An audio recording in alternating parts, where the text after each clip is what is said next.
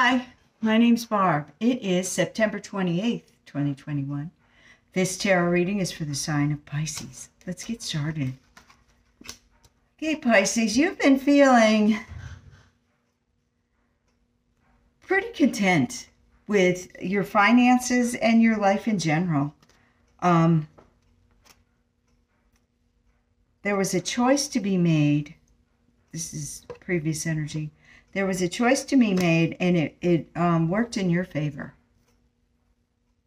So, yay. Currently,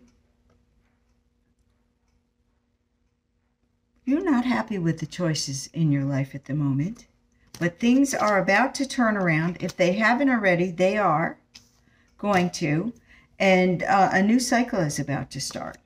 You have major arcana throughout this. This is a life shift rather than day to day stuff Just keep that in mind. Okay, going forward.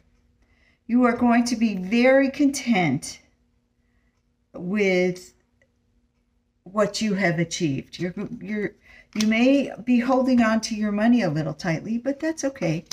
Um, and there may be an epiphany of some sort that's going to have you walking away from a situation that you probably should have never been in to start with. I hope this is helpful.